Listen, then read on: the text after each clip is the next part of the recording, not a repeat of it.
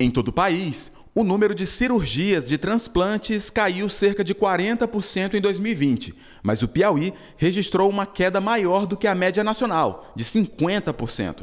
Para o coordenador da OPO, Organização de Procura de Órgãos aqui no estado, esses dados refletem a redução do número de doadores durante o período de pandemia, somado à desinformação que existe sobre onde e como ser doador. Lamentavelmente, houve uma queda no Brasil do transplantes, dos transplantes. Não existe transplante sem doação de órgãos. Essa queda se dá por falta de doação. Houve uma queda também nessa pandemia é, e, consequentemente, caíram os transplantes. No Piauí, essa queda foi maior ainda. Mais de 50% dos transplantes é, tiveram queda, diminuiu devido à pandemia, mas principalmente devido à, à família não autorizar a doação, porque nós não paramos nessa pandemia. Parar tudo seria custar muitas vidas e a gente não parou.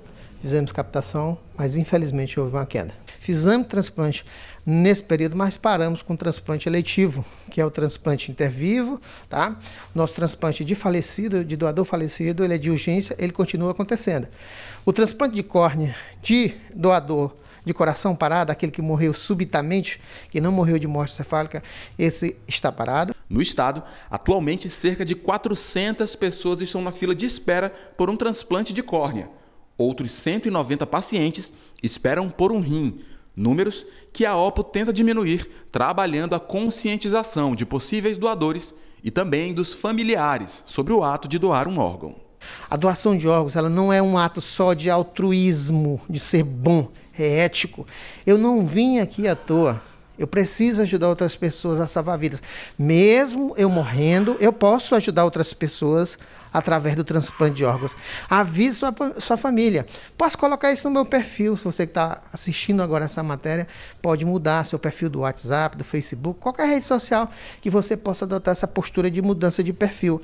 Coloque lá. A partir de hoje, eu sou doador de órgãos. É muito fácil dizer que não vai doar órgãos, mas é muito fácil precisar de órgãos também.